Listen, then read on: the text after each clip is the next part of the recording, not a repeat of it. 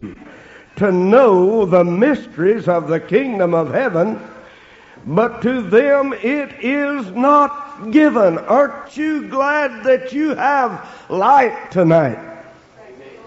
Amen. Good to see you, Mike.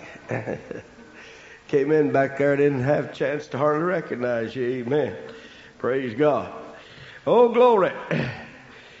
Privilege to know the truth of God, isn't it? For whosoever hath, hath what? Understanding. Knowledge. Amen. Amen. Because it is given you to know the mysteries of the kingdom of heaven, but to them it is not given, for whosoever hath knowledge of the mysteries of the kingdom of heaven. Come on. Yeah, you're responsible for what you read, what you seek, what you feed on, what you desire. God hold you responsible. Amen. For everything you learn or don't learn. Amen. Whosoever hath, to him shall be given, and he shall be given more abundance, or shall have more abundance. But whosoever hath not, hath not what? Knowledge of the mysteries of the kingdom of heaven. Well, I don't know much. You better shut that up and get to learning something. Amen. Well, I may not hardly know how to read. You better get to learning. Amen. You're not got excuse not know how to read. If you pray, God will help you. Amen. I don't care how old you are. Grandma Moses can paint when she's a grandma. You can learn to do something even though you're, praise God, uh, up in years, a senior citizen, huh? Praise God. It may be tougher, but you can if you want to. Amen. You at least be found trying. You better do it too. God holds you responsible for that. He said, uh, For whosoever hath to him shall be given, and he shall have more abundance. But whosoever hath not, from him shall be taken away even that which he hath. That's the way God's economy works. I'm sorry. I didn't write the book. Amen. Praise God. Therefore speak I unto them in parables, because they seeing see not, and hearing hear not, neither do they understand. By hearing, and in them is fulfilled the prophecy of Isaiah, which saith, By hearing ye shall hear, and shall not understand, and seeing ye shall see, and shall not perceive. For this people's heart is waxed gross. Their ears are dull of hearing. Their eyes have they closed. You better watch that. You'll not be able to get them open if you're not very careful. Amen. Lest at any time they should see with their eyes and hear with their ears and should understand with their heart and and should be converted, and I should heal them. Amen. Word of encouragement to you that hunger for the things of God. But blessed are your eyes, for they see, and your ears, for they hear. Hallelujah. That word blessed means happy. Very, very happy. Everybody's happy. Say amen. Everybody's happy for what you've heard and what you've seen. Say amen. Hallelujah. For verily I say unto you that many prophets and righteous men have desired to see those things which ye see, and have not seen them, and to hear those things which ye hear, and have not heard them. Amen. Mark chapter 5, 4 and verse 23. If any man have ears to hear, let him hear. Everybody that's got at least one good ear tonight, hold up your hand. Are you glad of it? Do you appreciate it? You don't know how marvelous your hearing is. You cannot begin to imagine. Don't ever take it for granted. Your hearing. And with your multi-million dollar hearing. As a matter of fact, if I was a billionaire and didn't have hearing, I'd gladly give it all to be able to hear. Multi-billion dollar hearing. And you put hearing and seeing together. You can watch the performance. You can see things happen. You can see the person and hear the person both that's doing the talking. Amen. Oh, amen. Take heed what ye hear. It's in your Bible. Mark 5 and 24. He said to them, Take heed what ye hear. With what measure ye mete, it shall be measured to you, and to you that hear shall more be given. Amen.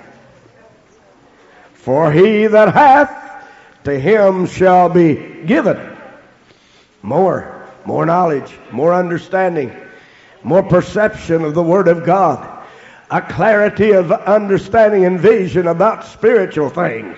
Hallelujah. Amen. For he that hath, to him shall be given. He that hath not, from him shall be taken even that which he hath. Are you listening tonight? Amen. Luke 8, it's a whole lot like it. Amen. 17 says, For nothing is secret that shall not be made manifest, neither anything hid that shall not be known and come abroad. Take heed therefore how. Mark said what? Luke says how. Amen. We need to take heed what and how and maybe I should add who we listen to. Huh? Amen. Are you with me tonight? And take heed therefore how ye hear, for whosoever hath, amen, hath what? A good earful of the things of God. Amen. Whosoever hath, to him shall be given. Gonna get some more. Amen. I'll give you some more. Hallelujah. Whosoever hath not, hath not what? His ears are empty and void of the knowledge of the good things of God. Amen. You don't have to be satisfied with a half a loaf. It comes to the knowledge of God. Every last one of you have a Bible. If you don't, it's because of your own neglect. Amen. It's your own fault. Amen. I recommend to you to read good, helpful books. I don't believe in reading no books. Well, what's the difference in books and preaching? Amen. Good books is good preaching on paper. That's right. Amen. You read all kind of fiction junk. Amen. Harlequin. Amen. I don't. Uh, I, I haven't read any of them, but uh, I've seen them around. Christian homes. Amen. Amen. All kinds of magazines, all kinds of fiction junk. You know what fiction is? It's lying on paper. Amen. That's what it is. Amen. Never really happened. But we feed on that. We feed on the wind. We feed on lies. And we like it better than the truth. And we're like the Chinaman that the missionary gave him a Bible and he came back the week, threw it down at his feet, And he said, What's the matter? Didn't you like the Bible? He said, No. He said, Why didn't you like the Bible? Because he said, Every time I read it, it kicks me. Amen. Could it be that, amen, we need to move our position? If we get kicked every time we, need to, we read the Bible, could it be we need to move? Amen. Glory to God. Amen. Take heed therefore how ye hear, for whosoever hath to him shall be given, whosoever hath not from him shall be taken. Don't ever refuse Bible truth. Amen. It can be the key to great blessings for your life, your future. Amen. Don't ever give ear to error. Because the devil just needs to get his big toe in the door through one error. And that error will make room for another one. Amen. And another, and another. What is error? It's the absence of truth. Amen. He that hath not, from him shall be taken, even that which he hath. Amen. What is truth? That's what Pilate asked Jesus. Amen. And Jesus said, Sanctify them through thy truth. Thy word is truth. Hallelujah. Say, I read it, but I don't understand it. It's because you haven't read it enough. Amen. I tried, but I didn't get nowhere. Are you saved? It makes a difference when you're saved. Amen. And uh, amen. A lady had a book one time and she started reading and threw it down. And, and, and after some time, amen, she picked it up again and began to read it hungrily. And, uh, and, and, and for long hours she read and they said, What made the difference? And she said, I fell in love with the man that wrote it. Amen. It makes a difference when you fall in love with the one that wrote it. He is the Word. Hallelujah. Praise God. Sister Collins had been reading me last week some old love letters. She dug them out from somewhere. Her and Judy, you know, cleaning house, and uh, she just chuckling and, and giggling and laughing and reading me my old love letters. And I said, I ain't moved. Hallelujah. Whew, glory to God. Amen. Got the job done. Hallelujah. If you fall in love with the author, it'll get the job done. You know why she read them in the first place? Amen. She had a little bit of a, a, a little bit of a teensy wincy bit of a, a infinitesimal amount of uh, uh, what we call love. So she read them. Amen. And somehow they got kept. I don't know how in the world they got kept. Amen. Hey, but they got kept. Praise God. But it makes a difference if you love the author. Praise God. I'm preaching tonight on inner ear trouble. Hallelujah. Oh, this hearing, this magnificent invention of the divine from this auricle out here. A U R I C L E, auricle. That's your ear. Scientific name for your ear. Amen. Shaped kind of like a horn with little ridges around it, you know, to amplify the sound as it goes around and enters your head from both sides. Amen. Catches it. Hallelujah. And that's just the beginning. It enters in and, and the sound waves uh, hit the first roadblock in there called the eardrum. They've got a scientific name for it.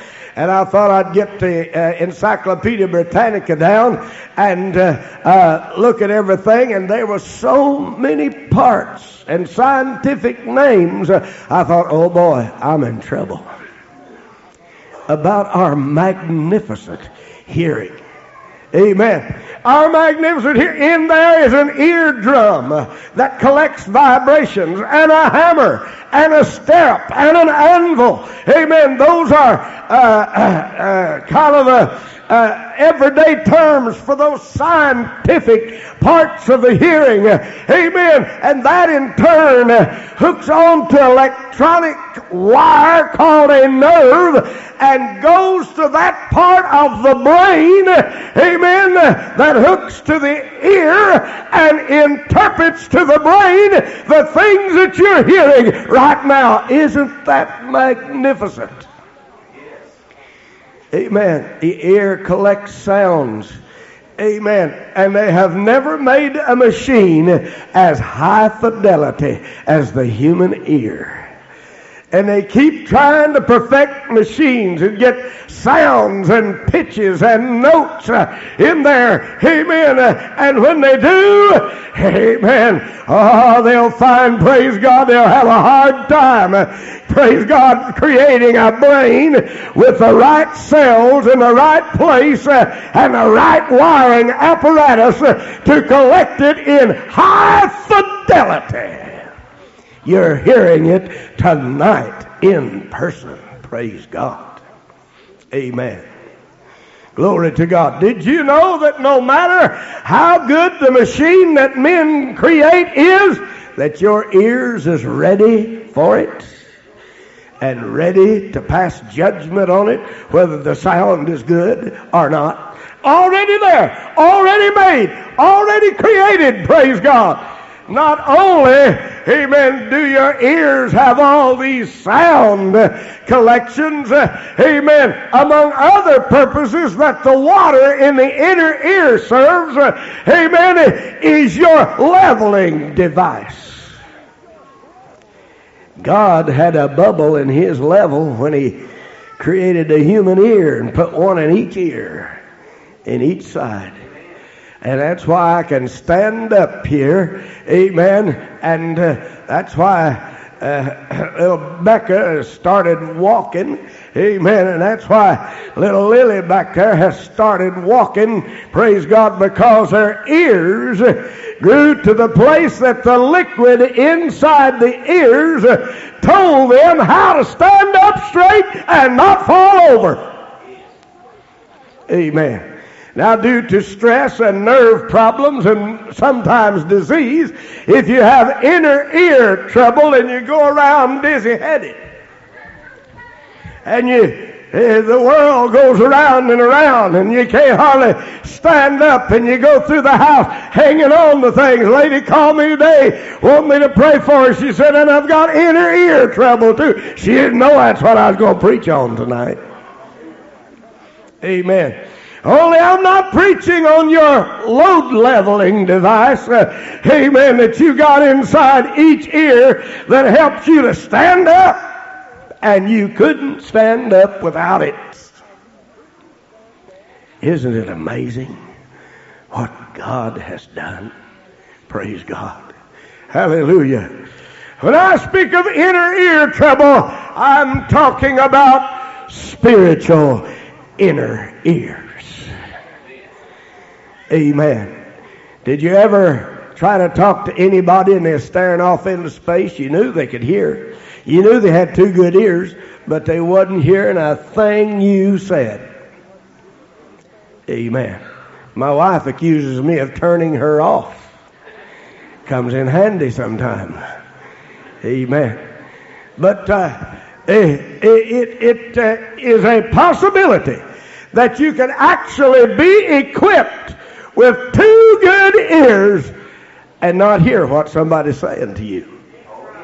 If you don't believe it, ask me. I do it all the time. Sometimes not intentionally. Amen. Because I've got my mind, uh, let me paraphrase that. I've got my inner ears and attention attuned to something else. Amen. Oh, glory to God. Amen. Oh, the miracle of the human ear. And oh, the spiritual miracle of having spiritual ears. Praise God. Amen. And I mean, brother, if you've got sight, and that's another story, the amazing ability to translate through these irises and through these limbs, uh, amen, to a nerve ending in the back of your eyeball and carry that message to the brain. And you can tonight, sitting here, if you're in good health and born normal, you can both see and hear. And it is a family disaster if anybody is born without both seeing and hearing.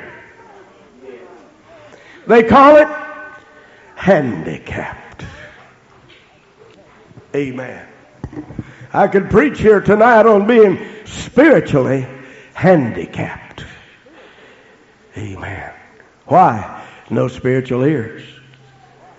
No spiritual eyes. Jesus said, Blessed are your eyes, for they see. Blessed are your ears, for they hear. Amen. Jesus told one group people, He said, Before I came, you had no sin. After I came and told you about it, now your sin remaineth. There's just one problem. If they don't hear God's cure for sin, then God takes away the cure and they still have to face the judgment. Anyway. Amen. Praise God. Amen. Is it possible to have all of these miraculous things working and still not hear? Amen. Now, praise God, with eyes and ears both. Amen. You walk into the kitchen and your smell is working good. Amen. And the wife is fixing something that you like. And with your eyes you see it. And with your ears you hear it frying.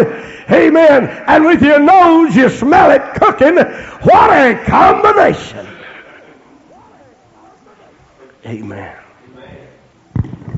Praise God. What a wonderful combination. Praise God. God was merciful to humans, and He let us hear, He let us see. But did you know a dog can hear a, a hundred times better than we can? Amen. Did you know that uh, uh, a dog can smell a million times better than we can? Amen. Did you know that a Eagle can see a hundred times better than we can. Got telescopic eyeballs. Can pull in on a mouse. Amen. A mile away. Amen. Can see a fish near the top of the water. Amen. A thousand feet high and make a power dive.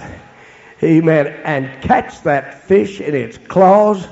Amen and never go under the water and fly away with that fish and eat it. Amen. Praise God.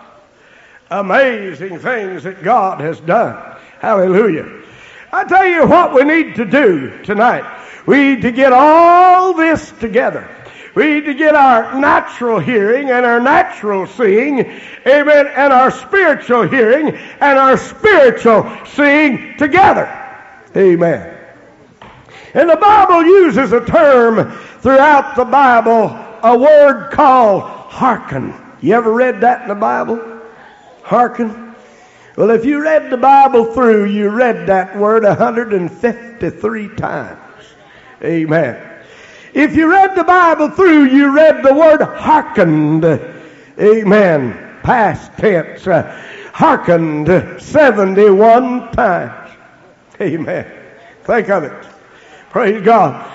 Over 225 times in the Word of God, the word hearken and hearkened and hearkeneth and hearkenest is found in the Bible, which has the same root meaning. Amen. Hearken means, get a load of this now. Hear this. Amen. I'm getting ready to put one on you. I want to give you a Arkansas definition for the word hearken. Amen. It means to hear with obedience.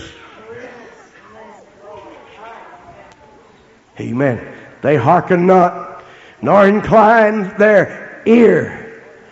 Their foolish heart was hardened. Amen. They went backwards. Uh, in, they walked after the imagination of their own evil heart. And they went backwards instead of forwards. Why do people backslide? Because they don't hearken. Why do people lose out with God?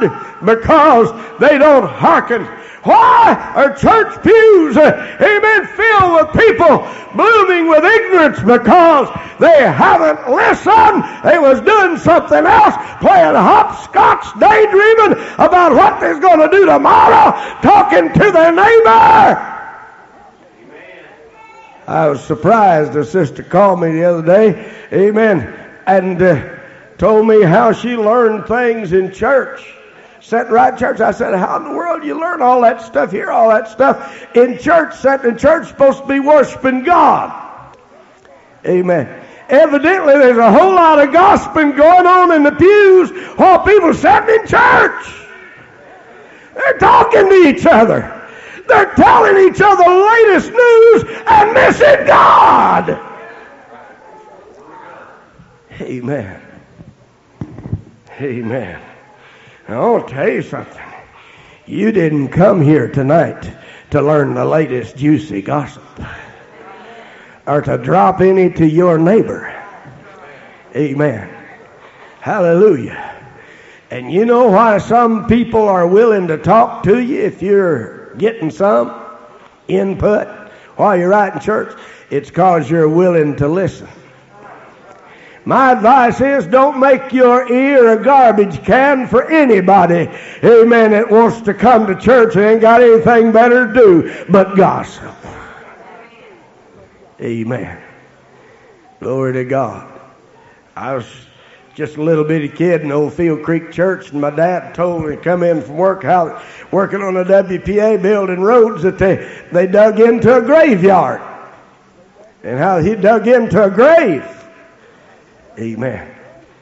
And so I went to church that night, pumped and primed to inform anybody close to me, amen, what I had learned. Amen. So I said right out loud in church, uh, amen, to uh, one of the neighbors sitting right beside us, I said, My dad dug a grave, dug into a grave today. I said it's so loud, people laughed all the way around me. Amen. Well, I found out years later that I didn't come to church to do those things. I didn't come to church to talk about everything under the sun, but what I was supposed to be talking about. Amen. Glory to God. I didn't come to church, amen, to curl up my lip because I saw who was there, or turn up my nose because I saw who was there. Amen you may not know what's happened between that person and God. Amen. Bill Gothard said there's no grace for a third party in a quarrel. The two that's in a quarrel, amen, they might have grace and they might come out of it, and they do. Amen. Brother walked up on my front porch this Monday morning, knocked on my door, amen, and I went out and shook hands with him. And he said, This is after 15 years. He said, I owe you an apology. Amen. And he won't care if I tell you, amen. Brother Albert Clark apologized to me on my front porch. Amen. After 15 years, Monday morning, said with tears in his eyes, It's the most foolish thing I ever done. He said, I want to go to heaven. Praise God. Hallelujah. Isn't that wonderful? Glory to God, glory to God, glory to God. Amen. I said, I forgive you, brethren. We just had a good prayer right on the front porch. It didn't take me the snap of your finger to forgive my brother. Amen. And put my arm around him. Amen. And pray with him. I said, Lord, bless Brother Clark. Praise God. He was my friend before, and he'll be my friend again. Amen. But I told him, you listen to other people. And that's what teed him off. The third party. Amen. Praise God. Me and some of those people, we got along all right. Amen. We got over it. But it took him 15 years. Praise God. But it's right now. It's all right now.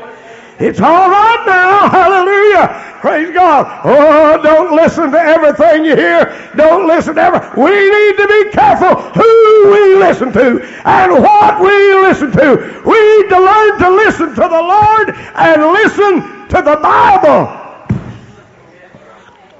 The Word of God.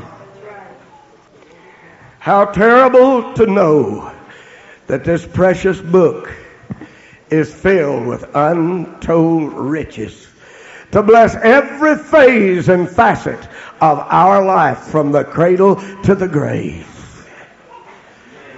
But we refuse to hear it and rob ourselves of untold eternal blessings. Amen. We refuse to heed it. Amen. Glory to God, glory to God, glory to God. I'm so glad that as soon as I got saved, I began to read Mom's 30 cent Bible and mark my place. There's a lot of things that I didn't grasp at first, but it blessed me anyway. I felt good because I got saved and I was reading the Bible and it made me feel good. Even though I didn't understand it, it was feeding me and I didn't realize how much it was feeding me.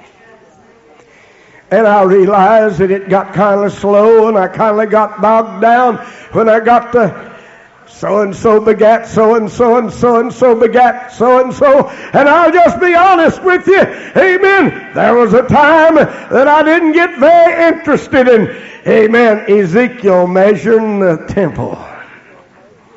So many reeds and so many lengths, and uh, the angels hold one end of the rule. He is holding the other, and he is measuring things, uh, amen, that I couldn't hardly fathom. Praise God. But after I decided, praise God, I'm going to have a stake in it. Uh, hallelujah. I went back and I decided I'd like for Ezekiel, let me hold one end of the rule because it might be mine. Hallelujah. When I get to the other side, he might be telling me something I need to know. I need to tell tell somebody, he might be telling me it's about some treasure, amen, that I'm going to have on the other side. Some blessing is going to be mine on the other side. If nothing else, Ezekiel is telling us that there is going to be a temple, there is going to be a people, there is going to be a God, amen. There's going to be a people worshiping God, amen, and God's going to have a place to do it in.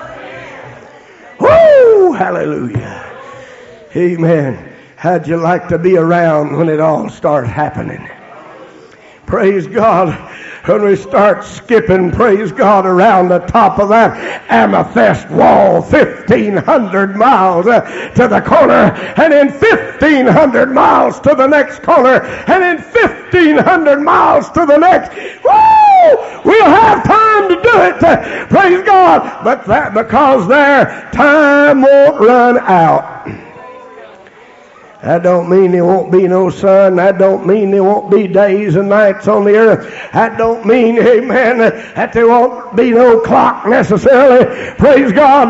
But it'll mean that we'll have it all throughout all eternity.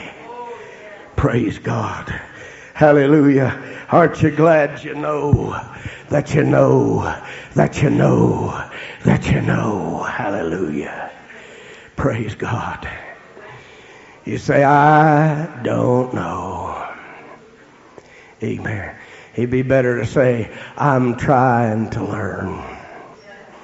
And by the grace of God, I will know while traveling through this world of sorrow. I'm on my way to glory land. I'll not turn back for some tomorrow. My trials here I'll understand. I want to know more about my Jesus. I want to know more about my Lord. I want to know more about that that mansion I'm going to receive as my reward. I want to know more about that homeland.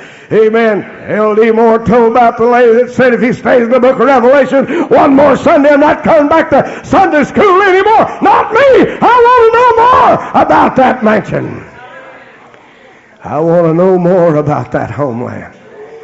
Amen. And after I reach that heavenly city, I mean to know more than I know now. Stand with me. I want to know more about my Jesus. I want to know more about my Lord. I want to know more about that mansion I'm going to receive as my reward. I want to know more about that homeland.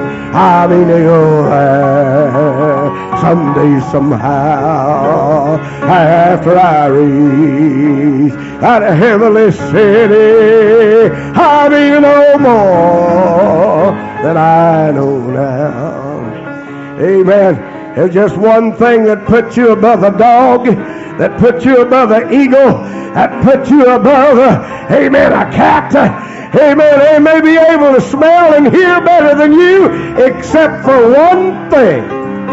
And that is you got spiritual ears and spiritual eyes that can hear all the way to heaven and back and see all the way to eternity. Woo! Glory to God. And that puts you above the rest of creation. Amen. And if you want to know more, if you're willing to give your life to it, you will know more. And if you see and hear what you need to see and hear, you're going to want to know more. Amen. You're going to see your need of knowing more about the Lord. Did you ever see anybody, even though there's one time in church, one time lived by the Bible, one time saved, today they're lost outside the church and got enough crazy ideas to kill them? You know what's wrong with folks like that? God took away the knowledge they had. He took away the understanding they had. He took away the knowledge of the book they had. He took away their spiritual ears. Amen. And they're spiritually deaf. Amen. They're spiritually blind. They're retarded, handicapped spiritually. Barring some miracle of God, they'll never, never, never, never see Amen. It's wonderful, Lawrence, when God heals. But what about when God blinds? What about when God deafens? That's what I read to you tonight. There's a bunch that God said, I blinded the eyes. I deafened their ears, lest they should hear, and I should heal them. Why? Because when they had knowledge, when they had the message, when they had the truth, they had a chance. They one time walked in the Spirit. They rejected it. God blinded them. God deafened them. I mean, they've been deaf for years. They've been blind for years. They still go to church once in a while. Some of them goes quite frequently and sits there like a frog batting its eyes in a hailstorm. They don't know what's going on. Because they're blind. Because they're deaf. And I'll venture to say, God did it. Because they trampled his blood. His Son, His Word. They willfully closed their ears, and God said, Oh, you don't want to hear, do you? He unplugged them. Now you won't be able to hear. They closed their eyes and refused to see. God said, You don't want to see, do you? He unplugged their eyes till now they'll never see. That's the way most of Israel was. 2020 vision, walking around blind. Amen. Inner ear trouble, unplugged. Amen. Hey, you better be careful about unplugging your own ears to the Word of God. Amen. You ain't been unplugged till God unplugs you. You haven't been unplugged till God puts out the lights. Says now you'll never see. Amen. God holds us responsible for what we see and what we hear and how it sinks in. One time he said, Let these words sink down in your ears. What we let sink in. There's a still small voice that talks to the inner man. That's the one that got me the night I got saved. Sister Jackson said the Jews have become a nation. Amen. And Jesus is coming soon. That was in July. After the Jews had been proclaimed a nation in 1948. In May. And it got through to me. It registered. It got to my inner ears. It spoke to my spirit. Jesus is coming soon, and you need to get ready, and it's now or never for you. That's what God told me that night. If I hadn't got saved that night, Mike, I don't believe I'd have had any more chances. He'd already spoke to me several times, and he told me it was now or never. How many times will God speak to us and us close our eyes and our ears and think we're getting away one more time? We made it out the door, didn't go to the altar one more time. Only to find that for the next unforeseen period of our life, our spiritual ears, our inner ears, and our inner eyes was so unplugged. It'd be like my uncle. I reminded him how we used to go to church together, how we got saved and filled with the Holy Ghost. And he hung his head and looked at the floor and he said, I thought I did. What was the matter with Jay? Was it because he was unplugged? That he couldn't even remember how it was when he was really saved and filled with the Holy Ghost? He's not got saved yet today. His life's a wreck. All he could say was, I thought I did. It's his way of downgrading the experience that he once had as a boy. Just like me going to church.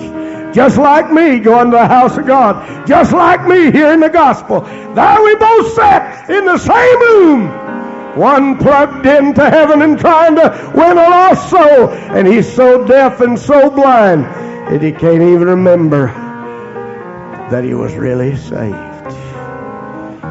It's just a passing thought in the past. Amen. But what about the future?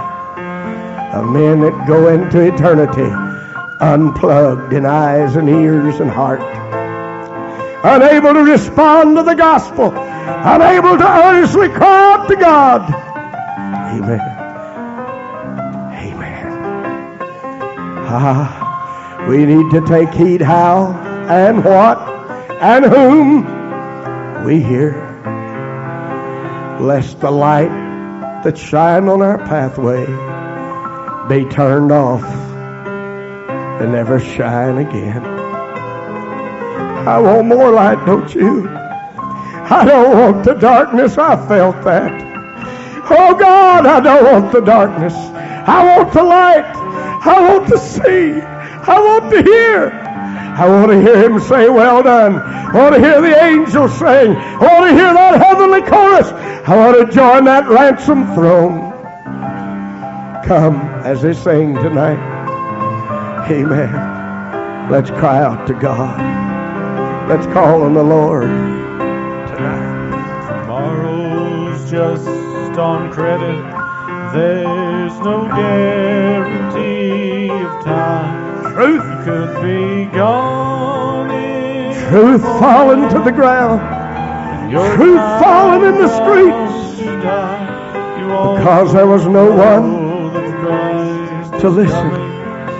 no one to hearken, no one to obey, no one to be the courier thereof. Amen.